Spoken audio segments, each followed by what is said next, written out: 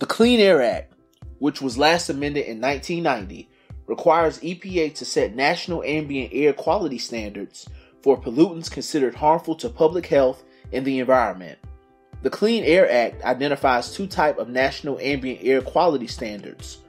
Primary standards provide public health protection, including protecting the health of sensitive populations such as asthmatics, children, and the elderly.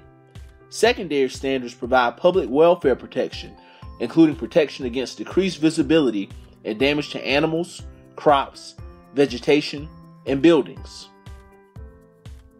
The EPA has set national ambient air quality standards for six principal pollutants, which are called criteria air pollutants. Which of these choices is not a criteria air pollutant? Is it A, sulfur dioxide, B, carbon monoxide, C, mercury, or D, lead? Pause the video and give yourself five minutes to solve the problem.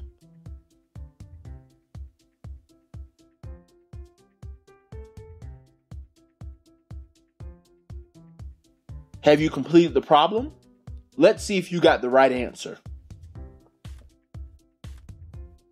Criteria air pollutants are pollutants for which standards are set at a level that protects public health with an adequate margin of safety. This list consists of six common air pollutants known as criteria air pollutants.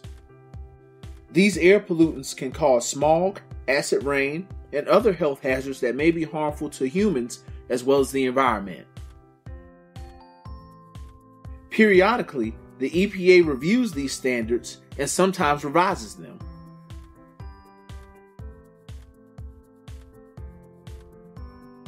So the six principal pollutants that make up the list of criteria air pollutants are carbon monoxide, lead, nitrogen dioxide, ozone, particulate matter, and sulfur dioxide.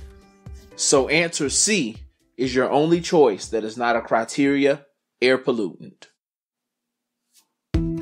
Join us for episode 5 of 52 PE exam problems in 52 weeks.